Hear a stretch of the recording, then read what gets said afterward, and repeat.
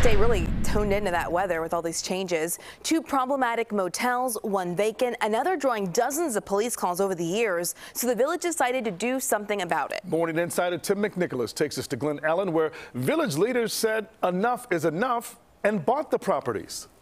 Despite the cold and snow, Okai sushi owner Yen Tang says he loves his location on Roosevelt Road. What do you think about this area?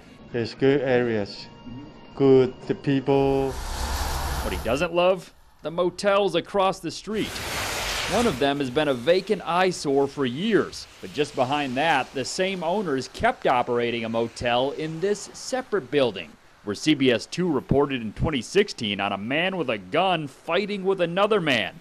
And just in the past two years, police blotters describe disorderly conduct, theft of vehicle parts, possession of controlled substance, and more. For Tang, the vacant building is bad enough. No nice for the city.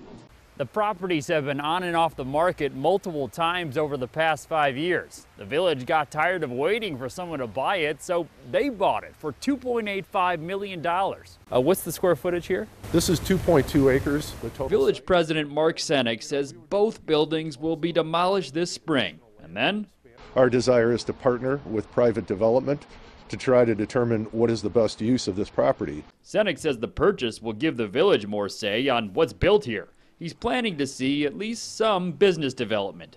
One of the considerations is we're going to look at affordable housing for this location, but that's one of many options.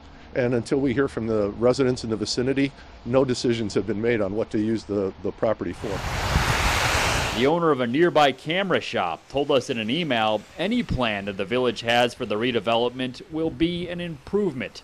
As for Teng, It's good for the for the city, I think, for the these areas. he'll be happy when these buildings are gone. Tim McNicholas, CBS 2 News. The village president says that about 2.8 million comes from the village's reserve fund. His team will be taking some feedback on the plans over the coming months. And for more stories like this one and for updates on this, you can download our CBS Chicago app and look for the section Morning Insider.